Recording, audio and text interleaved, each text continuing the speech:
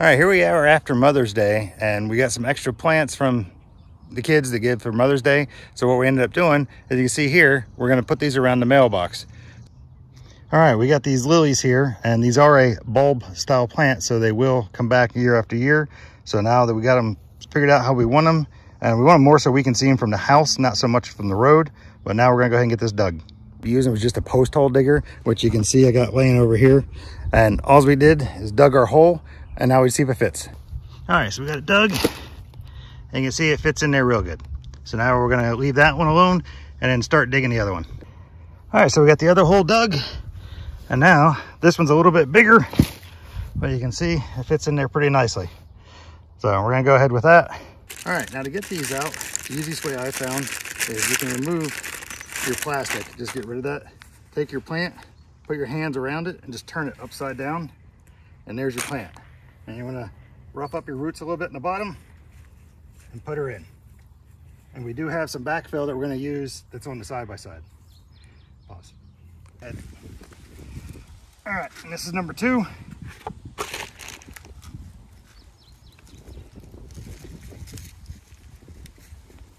Now what we're gonna do is we're gonna actually use some cardboard because we're being lazy and not digging this out or putting fabric. So our last party we had, we're using these. We're gonna do is we're gonna put the cutout parts around the plant we just put in. So essentially we're gonna do like this, and then we're gonna go ahead, I'm just gonna rip, mark this and just kind of rip it roughly. And you can see what kind of soda we had.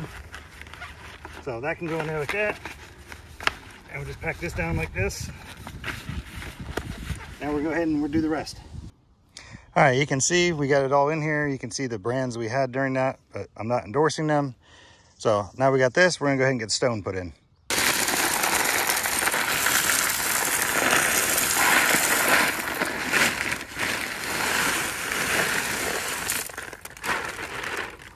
One bag.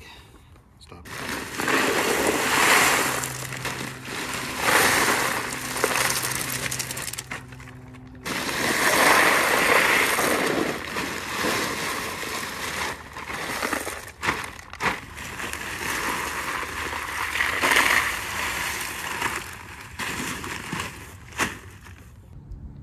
All right, we're all done. It took probably about half hour or so. It took longer to gathering the stuff up than it did actually doing it, but now you can see what it looks like.